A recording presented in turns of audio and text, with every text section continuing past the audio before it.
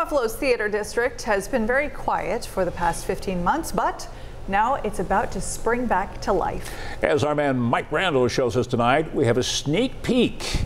It's all new at 6. Leave it to the new guy to bring live theater back to the city. We're the first one in the theater district. Theater is back in the theater district. Chris Handley took over at the Alleyway Theater just as everything shut down. We're so excited. It's been a long, long year and a half, and it's awesome to be back. It's awesome to be doing plays again in person. Chris is launching the Buffalo Quickies, the crowd pleasing short play festival that is a Buffalo tradition. Buffalo Quickies has been around for 30 years at the Alleyway, and uh, it's a smorgasbord of different plays every 10 minutes. The clever staging puts each play in a separate location. No! Don't put me on hold. I need to speak with. Most of the plays are in window fronts right on Main Street in the theater district.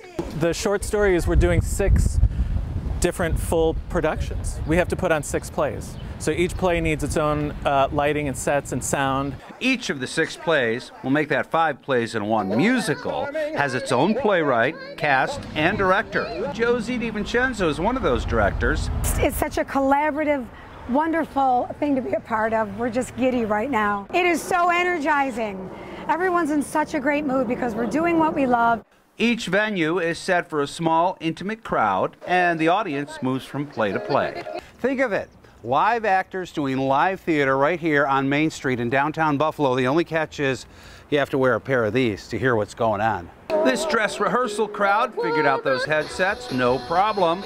You don't see me asking why. You don't see me complaining. The show officially opens Thursday. Tickets must be purchased in advance on the theater's website at alleyway.com.